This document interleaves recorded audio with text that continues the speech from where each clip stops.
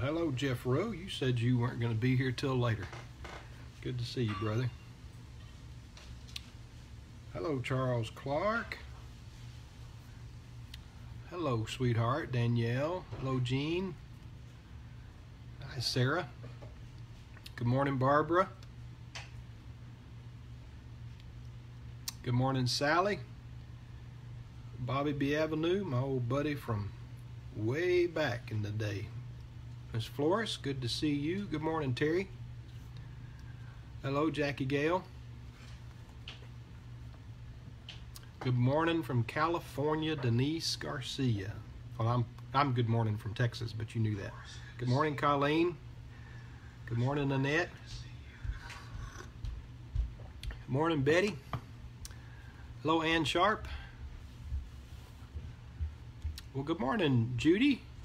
And I, I guess Conrad's there with you. Jeannie Howard. Jan and Clint Silverthorne, good to see you.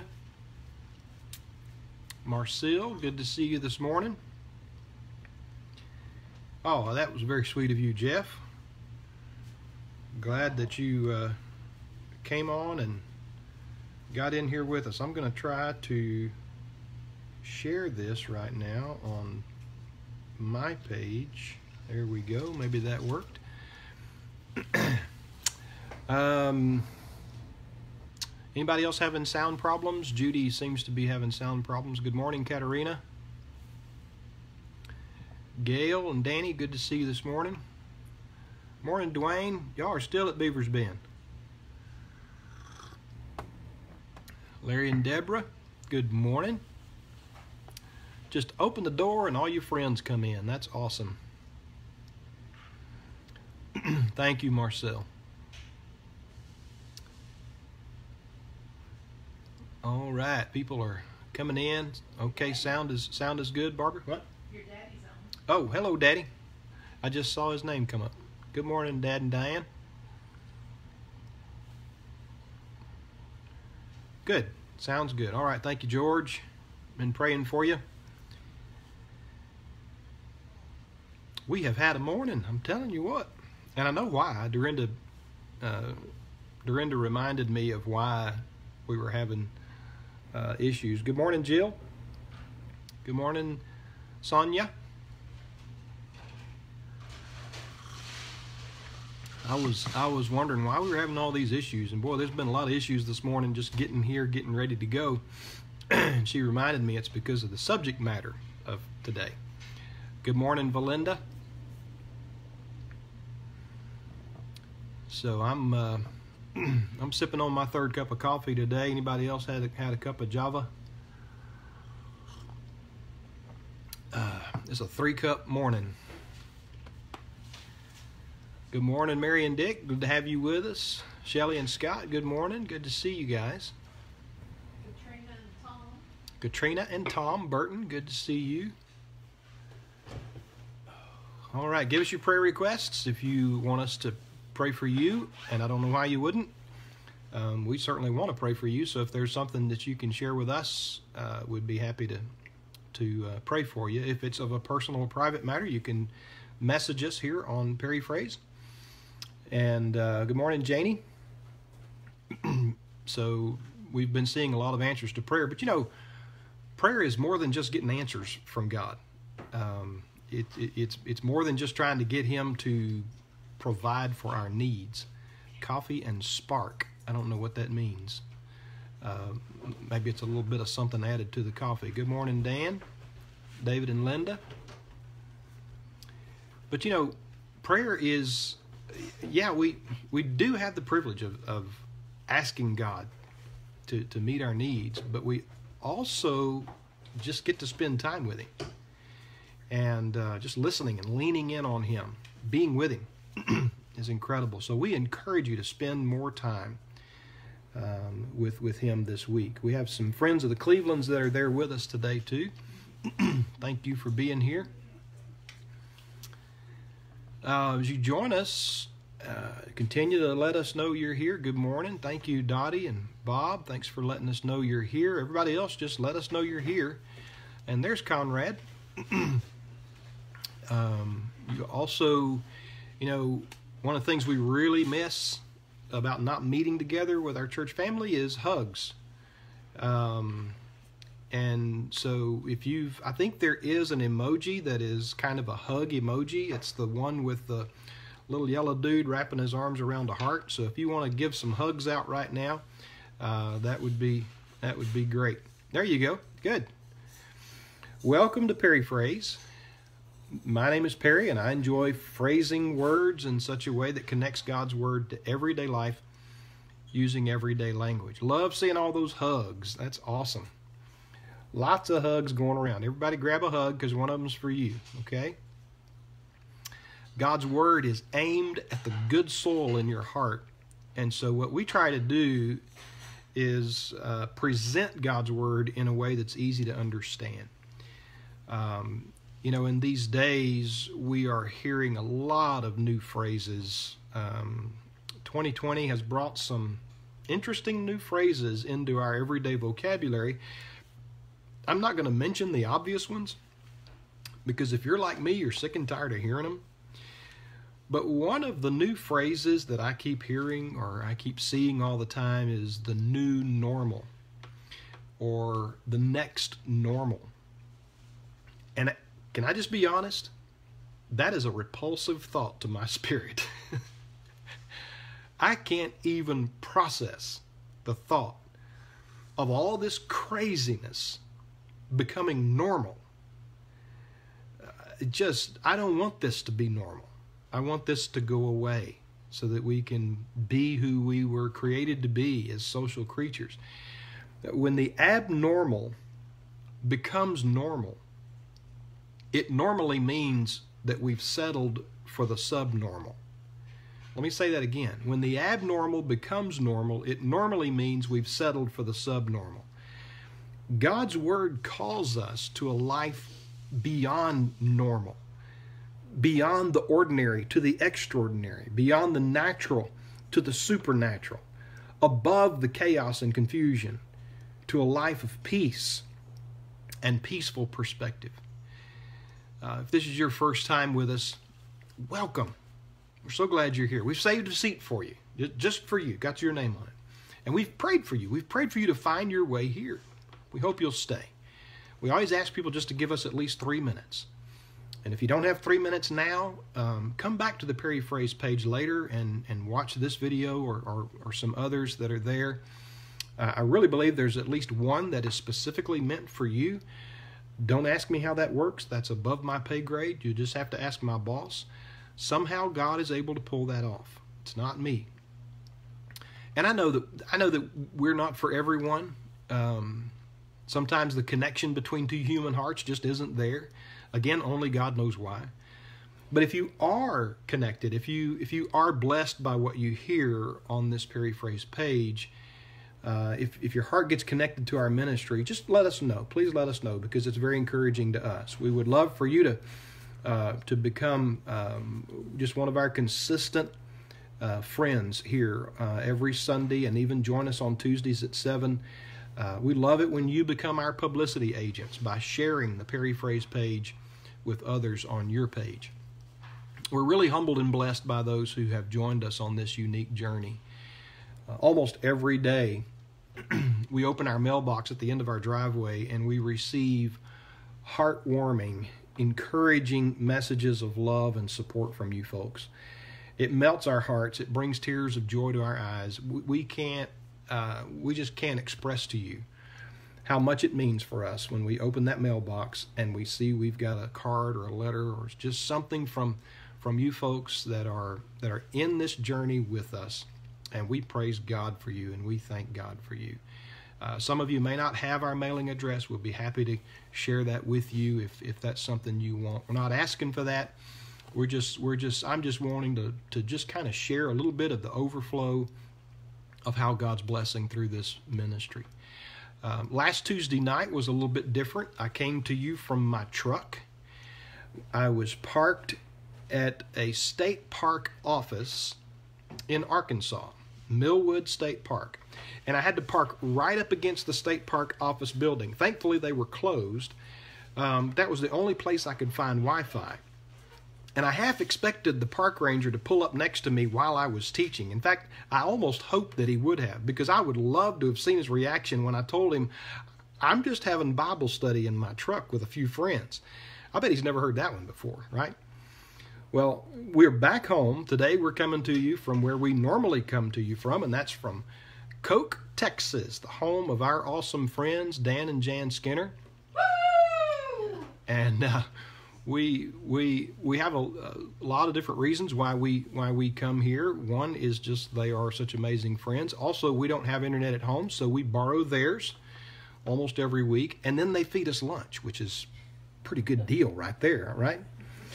But no, they truly are great people, and I've had uh, multiple requests from you to have Dan play his guitar again.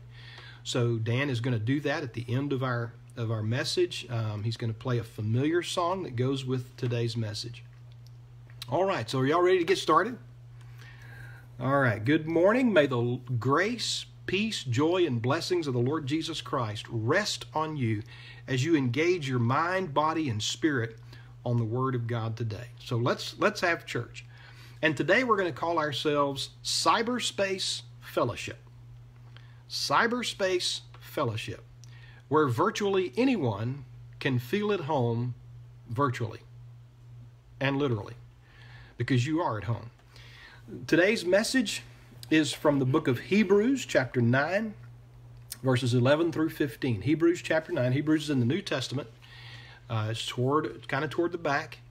And if you find the book of Revelation, just take a left and you'll, you'll pass a few little books and then you'll get to a big book named Hebrews it's Hebrews chapter 9, verse 11 through 15. Now, as you may already know, the title of today's message is Life Is. Now, when you have a subject as broad as life, you can expect there's going to be a lot to say about it. So, knowing that, I only intend to begin this journey together today. I can see this as being at least a three week series. All right? So, so don't don't worry. We're we're going to talk about life, but we're going to break it up into three, at least three sections. The book of Hebrews. Uh, it's not about a man who makes coffee, but I'm. Psh, it's an amazing book about the superiority of Jesus Christ over everything. When you read the book of Hebrews, you see that, that he's talking about, the writer of Hebrews is talking about Jesus being superior to angels, superior to man, superior to the, temple, superior to the priests, superior to all things. And so, one of the ways that the writer of Hebrews points out Jesus' superiority is in relationship to the Old Covenant and the way the Old Testament instructed God's people to interact with God. Specifically, the Old Testament system of sacrificing animals in a temple by a priest for the purpose of an annual atonement uh, that's contrasted by the eternal life giving power of Jesus' shed blood on the cross. It's a contrast between a restrictive religion and a redemptive relationship. Another way to put it is there's a shadow here, but it's a shadow in reverse. What do I mean by that? Normally, a shadow follows or appears behind the object. But God gave us the shadow of his plan of salvation and of his plan of atonement in the Old Testament sacrificial system before he showed us the object, namely the person of his plan of salvation and his plan of atonement in the New Testament. So that sets us up for the first answer that we're going to look at today to the, the life is. Life is in his blood. Life is in his blood. That's point number one, and this is the point we're going to be on today. Um, this goes all the way back to the book of Leviticus Genesis, Exodus, Numbers, Leviticus, the fourth book in the Old Testament. Leviticus 17 11 says, There is life in the blood. Let me just read that verse to you. For the life of the flesh is in the blood, and I have given it to you upon the altar to make atonement for your souls. For it is the blood that makes atonement for the soul. Now, God said that all the way back in the book of Leviticus.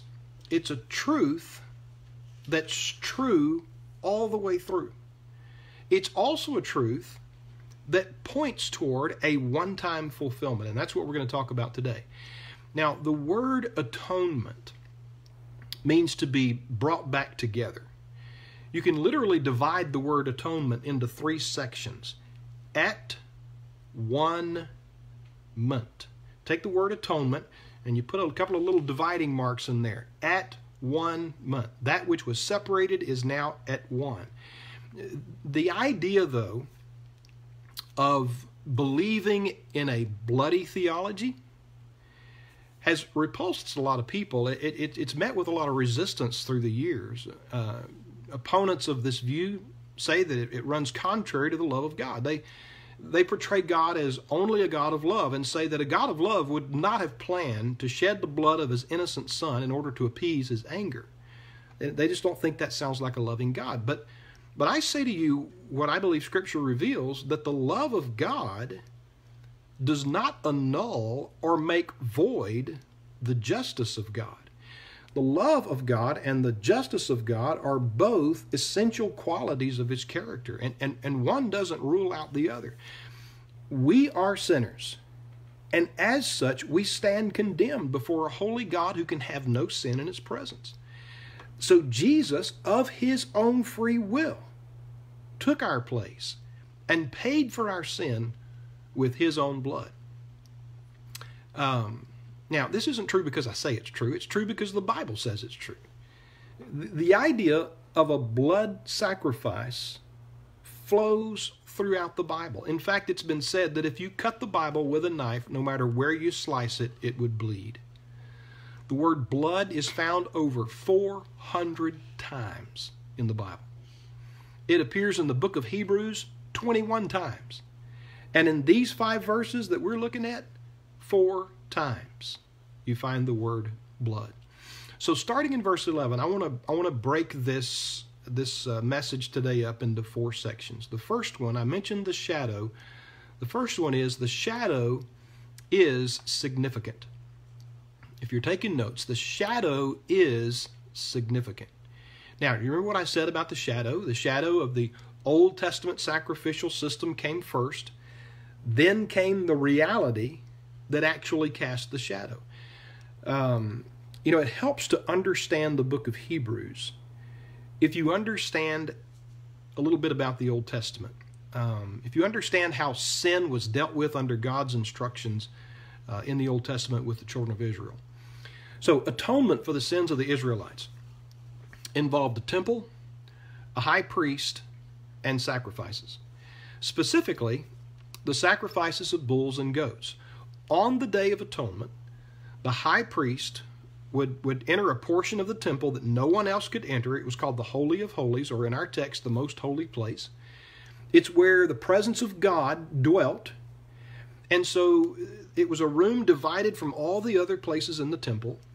And it was there that the priest, once a year, would go in and he would sprinkle the blood of a sacrificed bull and goat on top of the, the lid, the seat of the Ark of the Covenant, known as the mercy seat. All right? So today there's no temple, but the Jews still observe remnants of this Old Testament system. Um, you know, most of us have probably by now thrown away our 2020 calendar if we had one. But if you happen to keep yours, you would see that on September 27th, that's just right around the corner, there's something stamped on your calendar, probably that day, by the makers of that calendar, and it's called Yom Kippur. And it says that Yom Kippur begins at sundown on September 27th. Well, guess what Yom Kippur is? Yom Kippur is the Day of Atonement. It's connected all the way back to the Old Testament. It's the one day of the year when the high priest would enter the Holy of Holies to make a sacrifice for his own sins and for the sins of the people for that year. Now, the high priest dared not enter the Holy of Holies without blood. He took the blood of a bull and of a goat and sprinkled them on the mercy seat. First, the blood of the bull was sprinkled as an atonement for his own sins. Then the blood of a goat was sprinkled for the sins of the people. Now, this is very, very important to, to grasp. This sprinkling of the blood on the mercy seat by the high priest in the temple did not pay off the sin debt. It put off the sin debt. All right, let me say that again. This sprinkling didn't pay off the debt, it put off the debt. The sins weren't forgiven, they were only covered. It was like a poor man's attempt to pay off a rich man's debt. One dollar a year applied to a million dollar debt with interest that rose each year. So you get kind of get the picture. And the debt continued to rise throughout Israel's history and, and man's history. And, all this time, a payday was coming. But God had a plan, and we're going to talk about that plan. That plan involved a heaven temple and a high priest who not only entered the Holy of Holies to present the sacrifice, he became the sacrifice. His name is Jesus. Look at verse 11 and 12. But Christ came as high priest of the good things to come, with the greater and more perfect tabernacle or temple, not made with hands, that is, not of this creation. Not with the blood of goats and calves, but with his own blood he entered the most holy place, the Holy of Holies, once for all, having obtained eternal redemption. Jesus is both the high priest who enters where we cannot go into the presence of a holy God, and he's the sacrificial lamb who voluntarily shed his blood, not just to cover our sins, but to pay for our sins. Notice it says, having obtained eternal redemption. The word obtained means he bought it. And to redeem is something that you pay off. So Jesus paid off our sin debt for all eternity when he died on the cross. So, yes, the shadow is very significant in helping us understand what the writer of Hebrews is telling us about Jesus entering the most holy place and redeeming us with his own blood. Now, understand that, that what the writer of Hebrews is saying here is symbolic. Jesus didn't actually go into a heaven temple and sprinkle his own blood on a heavenly mercy seat, but he accomplished the same idea when he willingly died on the cross. Verse 13 begins the second part. The second part. Not only is the shadow significant, sin is still in. Sin is still in. You say, well, yeah, sin's always been in. Everybody likes to sin. It's always been the in thing to do. That's not what I mean by that. I'm going to explain to you, but first let me read verse 13 and 14. For if the blood of bulls and goats and the ashes of a heifer, sprinkling the unclean, sanctifies for the purifying of the flesh, how much more shall the blood of Christ, who through the eternal Spirit offered himself without spot to God, in other words, pure, cleanse, how, how much more will he cleanse your conscience from dead works to serve the living God? Now, here's what I mean when I say sin is still in sin is still an inside issue, it's in here. It's a heart problem.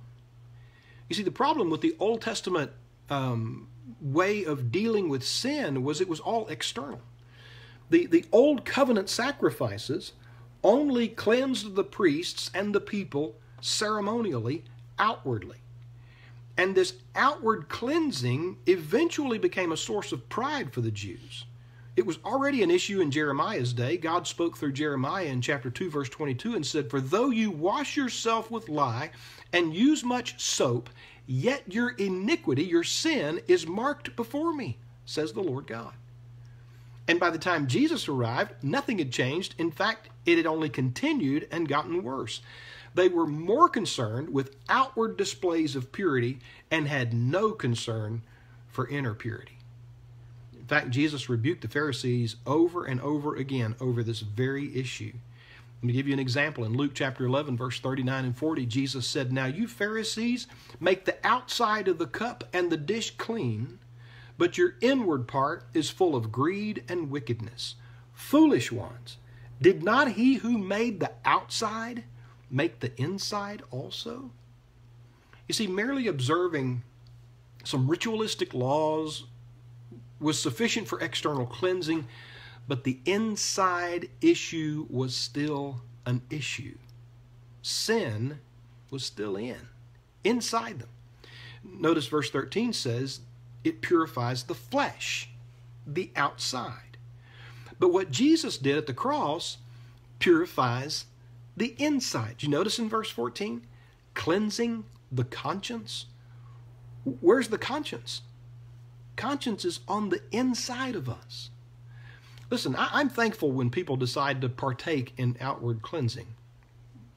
It's important to bathe, shower, wash your hands, brush your teeth, scrub behind your ears.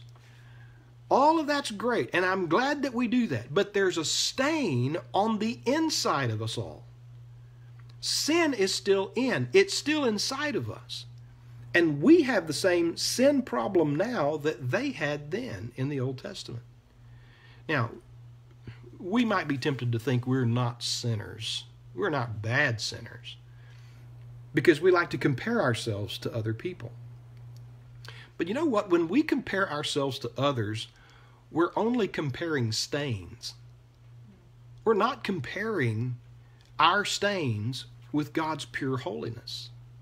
You see, you, you can compare two white t shirts that you've had for five years against each other, and they'll look about the same shade of white. And so you look at both of those five year old white t shirts that you've worn through the years, and you look at them and you say, well, they're white, they're clean. They seem clean, but if you took one of them away and then opened a brand new white t shirt fresh out of the package, you're going to notice a difference. This one's going to be so much cleaner. It's, it's going to make the other one not even look white. You see, God doesn't compare us to each other, He compares us to Himself. That's why the Bible says there is none righteous, no, not one. It doesn't matter how, how, how your sin compares to somebody else's sin. Your sin is still an affront to God. My sin is still an affront to His holiness. Sin is still in, internal, inside of us, and it's a problem for all of us. But there's a solution a cleansing agent for the sin stained soul. You know, we used to sing about it all the time growing up in church. Have you been to Jesus for the cleansing power? Are you washed in the blood of the Lamb? Are you fully trusting in His grace this hour? Are you washed in the blood of the Lamb? Are you washed in the blood, in the soul cleansing blood of the Lamb? Mm. Are your garments spotless? Are they white as snow? Are you washed in the blood of the Lamb? Mm. Thank God Jesus provided himself as the Lamb to take away our sins. 1 John 1 7 says, The blood of Jesus Christ, his Son, cleanses us from all sin. It's like we become that brand new white t shirt fresh out of the package all over again no stains. Now, his blood isn't one option among others. His blood is the only cleansing agent in the world for removing the stain of sin in your soul and mine. There was a woman at a garage sale. She spotted an antique copper kettle and it was priced at $2.50. Now, the copper was badly tarnished so she took it to the lady that was that was holding the garage sale, and she asked her if the discoloration on this copper kettle would come out. Well, the nice lady that was running the garage sale cheerfully offered to try some copper cleaner on it, and so she disappeared into the house. And after a while, she came back out, and the kettle looked completely different. It was gleaming. And so the lady handed it back to the customer for her to inspect it, and it was absolutely beautiful. She was so excited about it until she realized that the old price tag was gone and there was a new price tag that read like new $10. You see, the kettle itself didn't change, but something changed its value. So, what made the kettle more valuable? Just a simple cleaning. And I would say to you, almost everything is more valuable once it's cleaned, including us. So, number one, the shadow is significant. Number two, sin is still in. And then the third section, the sin problem caused a separation situation. The sin problem caused a separation situation. The issue of sin is universal, it's everywhere. I mean, look at every problem known to man, every issue we face, every argument you have, every person that you get upset with on Facebook, every story that's in the news. You look at all of it, and you're going to see the stained fingerprints of sin attached to it. But it, but it does more than cause societal and human relationship issues. It causes another problem much bigger than that. Our sin has separated us from God. And if something isn't done about it, that separation will be permanent and eternal. But guess what? Something was done about it. And now that that something was done, there's still something you need to do for it to apply to you personally. And I'm going to talk about that at the end of the message. In that temple we talked about, with the section called the Holy of Holies, or as verse 12 calls it, the most holy place there was a thick curtain. So you so you have the temple, and you have uh, an area of the temple where the average Jew could come and pray. And then you have another section where the priests could minister, but then you have another section that's separate from all the rest of it, and it's separated by this by this thick curtain stood between the Holy of Holies and the rest of the temple.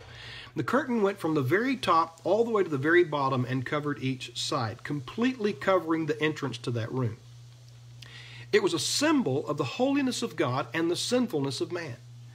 The people could not be in the same room with God because of their sin. They were separated from God. But have you ever wondered why a curtain? Why did God instruct the children of Israel to put a curtain there instead of a wall? Huh. Because God knew this was temporary. God knew He was going to redecorate. God was sending a message via the curtain to us all that He would one day draw the curtains back. You know, the Bible also calls it a veil. A veil is what brides wore. I don't know if they still do or not, but back in the day, brides always wore a veil, and it was to, to sort of hide her face. But it's the very same symbol. It's a symbol of separation. Did you know that? The man and woman are not to engage in their marital union until they complete the marriage vows. There is a barrier there, and the veil symbolizes that. And in that beautiful moment in a wedding, when the minister says to the groom, You may kiss your bride, the groom lifts the veil to reveal her face and gain access to her lips, but also to symbolically say, You may now become one flesh. There are no more barriers, no more hindrances to this relationship. That's the picture of the veil. And God was saying, by placing the veil or the curtain between His presence and the people, that there's coming a day when there will be no more barriers, there will be no more hindrances to the people coming into the presence of God. There is a groom coming, and He's going to remove the veil.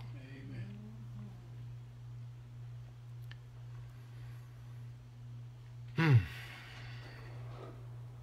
Praise God. You know, going back to the temple for just a moment. Only one man, the high priest, could approach God once a year. And he had to carry blood with him. Jesus, the one and only begotten Son of God, became our high priest. And when he went to the cross, picture this.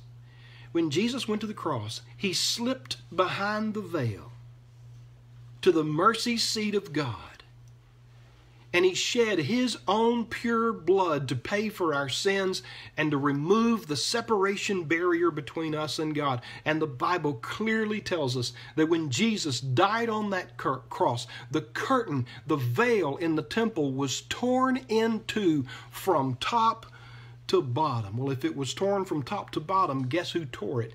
God did. And it was a powerful message from God that the sin problem and the separation situation had been resolved. And so we now, all of us, have access to our Creator through the precious blood of Jesus. And that's the fourth part of this message today. It's a rather long part if you're filling in the blanks, so I'll say it slowly and I'll say it twice. The solution to the sin problem and the separation situation, in other words, the solution to B and C, the solution to the sin problem and the separation situation is a sacrificial Savior. The solution to the sin problem and to the separation situation is a sacrificial Savior. Let me read verse 15 to you. I'm reading from the New King James, but I'm going to read it again from another translation. And for this reason, Jesus is the mediator of the new covenant by means of death for the redemption of the transgressions under the first covenant, that those who are called may receive the promise of the eternal inheritance. So now listen to this from the New Living Translation. That is why Jesus is the one who mediates a new covenant between God and people so that all who are called can receive the eternal inheritance God has promised them. For Christ died to set them free from the penalty of the sins they had committed under that first covenant. I love that phrase. Christ died to set them free. One translation tossed in a word that's, uh, that's worth thinking about. One translation says, Now that he has died as a ransom to set them free. Ransom, what a word. What a word picture. And it's a consistent idea, at least in the New Living Translation. Peter wrote in First, First Peter chapter 1, verse 18 and 19, For you know that God paid a ransom to save you from the empty life you inherited from your ancestors, and it was not paid with mere gold or silver, which lose their value. It was the precious blood of Christ, the sinless, spotless Lamb of God. Now, generally, when a ransom is paid, it's paid to a bad guy or to a kidnapper. I even heard recently of school districts that are paying ransoms to hackers who've infiltrated their school computer systems and taken hostage all of their school information. And these school systems are paying the ransom to get their information back. Well, look, Jesus didn't pay off a bad guy like the devil, he paid off a bad debt. Remember when I said the sin of the Israelites kept piling up, collecting interest, and their annual sacrifices were like a $1 payment to a million dollar debt? Well, I also said there would be a payday.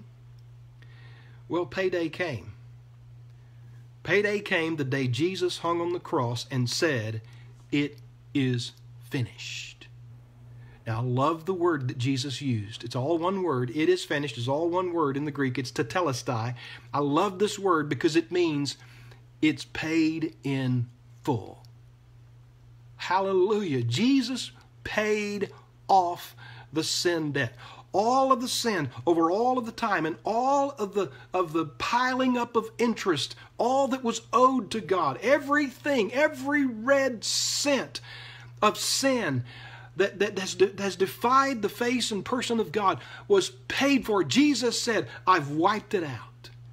I've paid it all. He settled the debt of our sin. He purchased our redemption using the only currency heaven values, the precious blood of God's Son. You know, the Bible puts a lot of adjectives in front of the blood of Christ. Judas called the blood of Jesus innocent blood, Peter called it precious blood. John, in his gospel, called it cleansing blood. In Revelation, John called it washing blood and overcoming blood. Paul, in his many letters, calls it the purchasing blood, the redeeming blood, the justifying blood, the peacemaking blood, and the sanctifying blood. Jesus said his blood is the blood of the new covenant, which is shed for many for the remission of sins. Wow. I don't mind a, a, a bloody theology because it's the blood of Jesus that was the only thing that could pay my sin debt, and Jesus voluntarily and willingly did so because he loves us. Folks, the blood of Jesus is our only hope of salvation. You know, if someone loses all the blood from their body, they die. And if you take the blood out of the gospel, you take the life out of the gospel. The blood is essential for our salvation. Not just any blood, only the precious blood of Jesus. You see, the beauty of Christ's payment for our sin is that it not only took care of a past debt issue, it has also freed up a future inheritance for us. Every person who refuses or denies Christ faces a horrendous future in hell. God doesn't want that. We don't want that. It's why God went to the lengths that He went to send us His Son. It's why Jesus was willing to sacrifice His life for us. He wants us to partake in an inheritance promised to us from the beginning of time. He wants to restore what was lost in the Garden of Eden. Those of us who have chosen to trust and accept Jesus as our Savior, we face a future filled with undeserved blessings. You see, the very end of verse 9 says that those who are saved may receive the promise of the eternal inheritance. Wow. So it's not just about paying for our past debt, it's about looking forward to the inheritance we're going to receive. Uh, David Dykes told the story about a physician friend of his. Um, when this physician was a young doctor, uh, had his residence, residency um, in an emergency room situation many years ago. Uh, as this young doctor was uh, just beginning his his uh, his residency there, a teenage boy was brought to the emergency room in critical condition. Uh, this young teenager had been involved in a terrible automobile accident. The doctors and nurses were doing everything they could to save this young man's life, but it it didn't look good. Well, the boy's parents arrived in the emergency room and, and they stood by their son, uh, one on each side of his bed. And the young doctor knew that uh, this boy's parents were separated, had been separated for a couple of years. Divorce was imminent. They hadn't spoken to each other in many, many months. The tension in the room was extremely high and it was very awkward. But here they were, face to face, on each side of their dying son. Well, the boy was barely conscious and had been intubated, so he couldn't talk. But just before he lost consciousness, this teenage son reached up and took the hand of his father and placed it in the hands of his mother. And then he died. And you know, from that night on, the parents were reconciled as husband and wife. But oh, what it cost for them to be reconciled.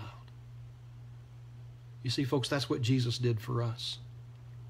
We were separated from God, and, and just before Jesus died, Jesus took the hand of the Father and he reached down and took the hand of sinful humanity and he brought us back together. Then Jesus died.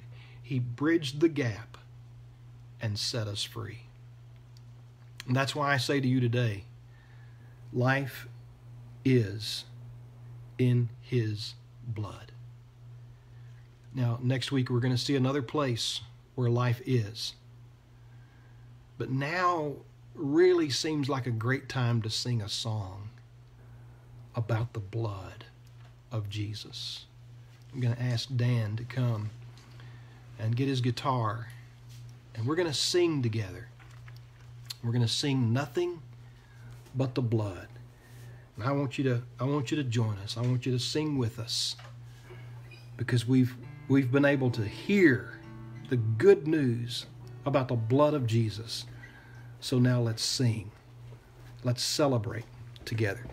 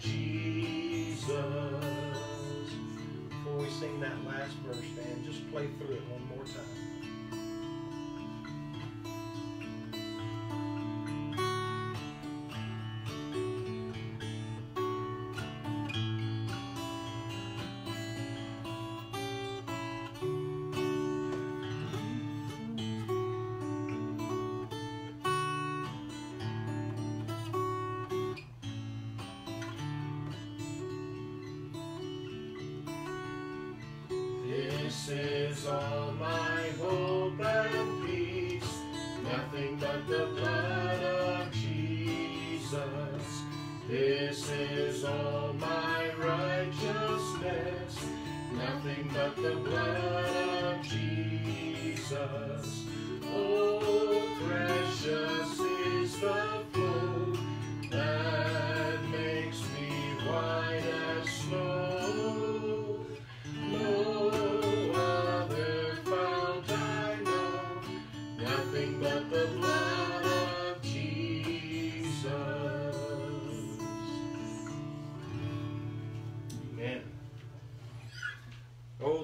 Jesus.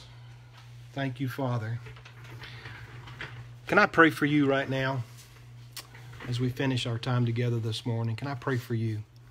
Father, we come to you in the precious name of Jesus through the precious blood of Jesus.